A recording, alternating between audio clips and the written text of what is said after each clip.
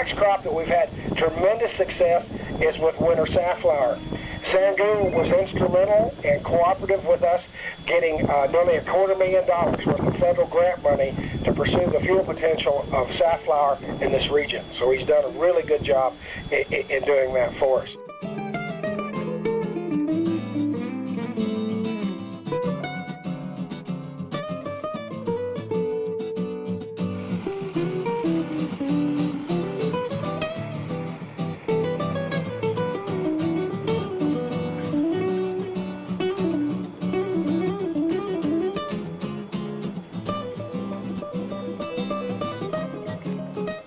Obviously, there's a lot of uh, material still left out in the field after a grain harvest, and we just want to know how much energy is left in this plant. I suspect it's probably not a lot, but there's some there. And so our thinking was if the cellulosic ethanol production ever does come online in this area on a large scale, New Mexico could be set up pretty well to contribute a lot of uh, acres of, of wheat stubble residue.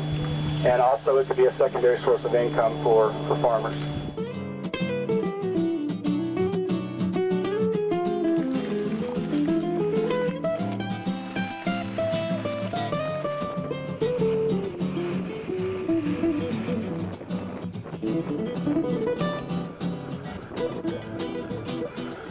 Basically between New Mexico and Texas combined, you're looking at the third largest milk shed in the nation. And if you throw Arizona in that mix, then we're probably flirting with Wisconsin. So basically in the Southwest, we're right behind, well, not right behind California, but we're very close to Wisconsin when it comes to milk production.